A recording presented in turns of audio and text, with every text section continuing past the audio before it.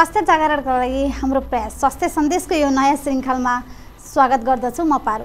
हरेक साताको सोमबार साँझ छ बजे र पुनः प्रसारण शनिबार दिउँसो एक बजे बुद्ध सामुदायिक टेलिभिजनबाट प्रसारित कार्यक्रम स्वास्थ्य सन्देशमा हामी मानव शरीरसँग जोडिएर रहेका विभिन्न स्वास्थ्य सम्बन्धी समस्या सम्बन्धित विशेषज्ञ डाक्टरहरूसँग छलफल गर्ने र परामर्श लिने कार्यक्रम गर्दछौँ।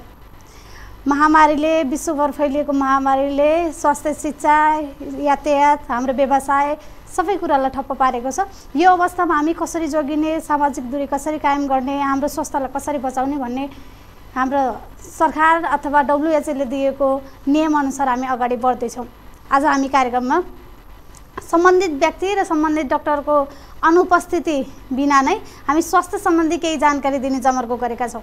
यो जमर्कोमा आज मैले थाइरोइड सम्बन्धी समस्या धेरैलाई बढेको बच्चादेखि वृद्ध वृद्ध अवस्थाका युवा अवस्थाका व्यक्तिहरूलाई पनि थाइरोइड समस्या देखा पर्न थालेको छ। यो थाइरोइड समस्या खास के हो त? यो समस्याले हामीलाई के के कुरामा असर पुर्याउँछ? यो थाइरोइड समस्यामा देखा पर्ने लक्षणहरू के के हुन्?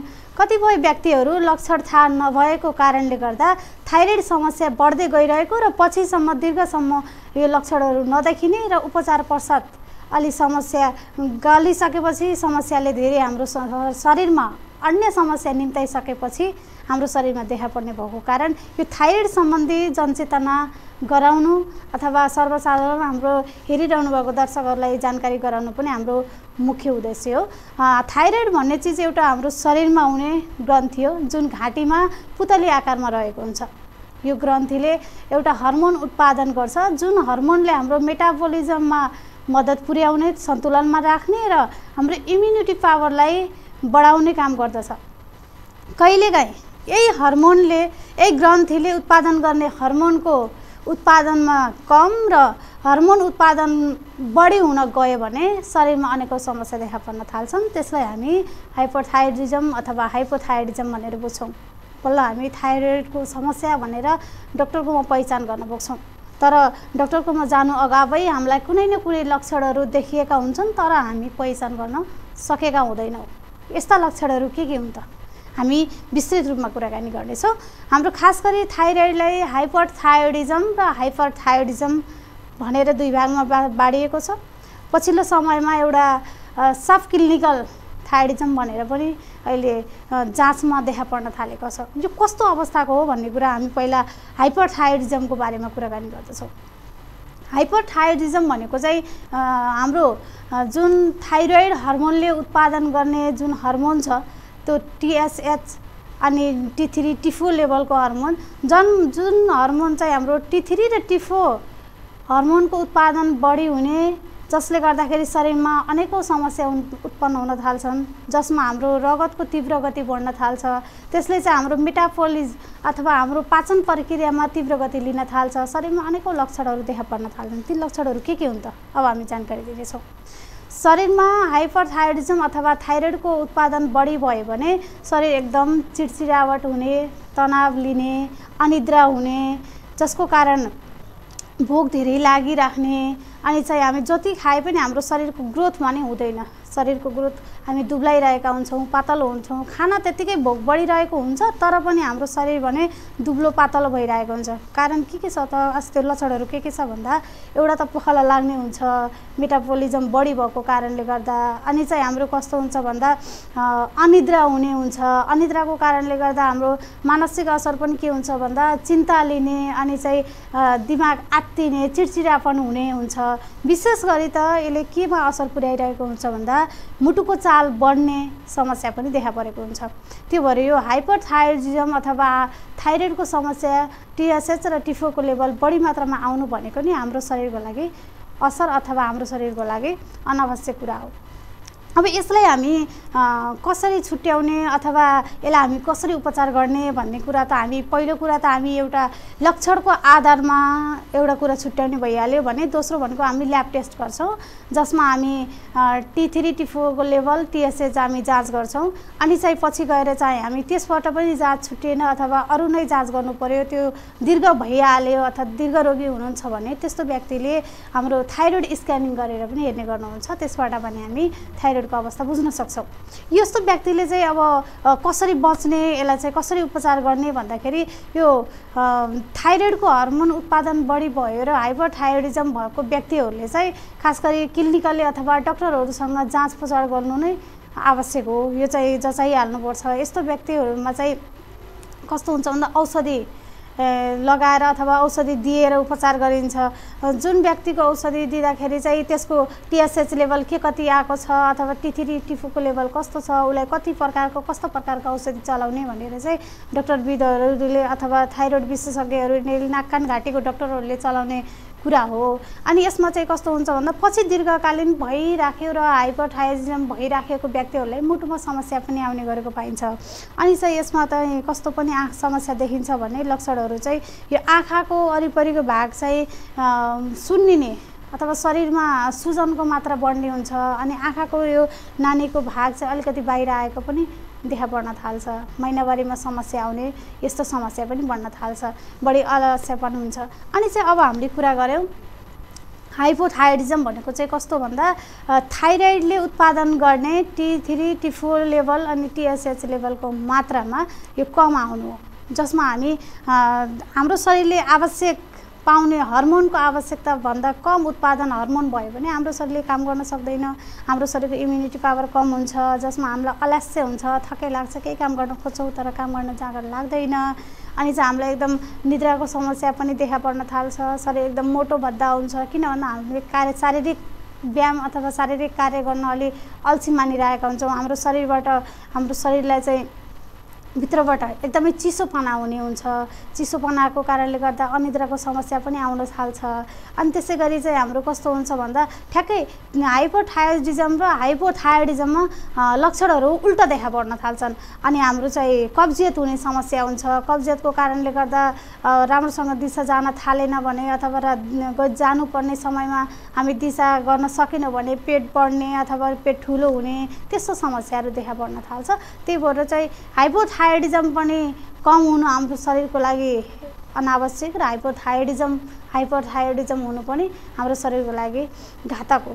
त्यो भएर चाहिँ अब यसलाई कसरी उपचार गर्ने भन्दा हाइपोथाइरोइडिजम हुनुको कारणहरू पनि धेरै छन् जसमा एउटा अटो इम्युनो पनि भन्छ आवश्यक आफस्याप अथवा शरीरले भित्रबाट नै हर्मोनको उत्पादन कम गरिरहेको हुन्छ ग्रन्थीहरू ड्यामेज भइरहेका हुन्छन् अनि अर्को चाहिँ ट्युमरहरू भएको कारण अथवा ट्युमरको व्यक्तिहरूलाई पनि त्यस्तो हुनसक्छ भने कुनै व्यक्तिले अथवा थाइरोइडको अपरेसन गरिसक्नु भएको छ भने त्यस्तो व्यक्तिहरूमा पनि हाइपोथाइरोइडिजम हुनसक्छ।